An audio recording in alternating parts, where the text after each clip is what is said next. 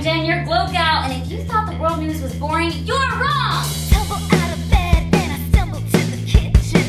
Hold myself a cup of ambition and I yawn and stretch and try to come to life. That's right, Pope's Facebook post must have been lighting up this week because Cuba caught them saying some pretty mean things behind their back. So, what did the Pope say exactly? That Cuba's Marxist political system no longer responds to reality and a new system must be found.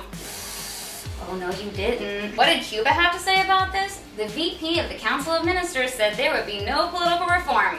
Oh, Cuba. Haven't you heard skinny jeans, capitalism, and mustaches are totally in right now? The craziest story of this week, and maybe ever, is also of biblical proportions. So, a group of Chinese Christians think that they have found none other than the Ark. You know, Noah and his Ark with the two by two. Actually, if you don't know about that by now, then just. Lot of skepticism. But photographs taken of Mount Ararat show that there is a man made structure that does follow the description of the Ark in the Bible, and plus, it's pretty darn close to where the Bible indicates that the Ark should be if we were to find it. Cray cray, and yes, that is a biblical term. Well, this must be the week because another entity that could do no wrong got down and dirty in the news this week. Starbucks!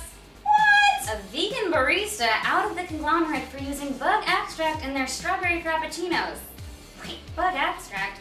Is that not vegan? Starbucks has responded to say that this is their part of only using all natural ingredients and that the bug extract replaces unnatural dyes. Hmm, I don't know, Starbucks. I feel like it's kind of a lose-lose situation here. Personally, I'm just gonna stick to the Starbucks coffee drinks. Well, that's it for now. I'm Jen, your Globe Gal, and this See, that wasn't so bad.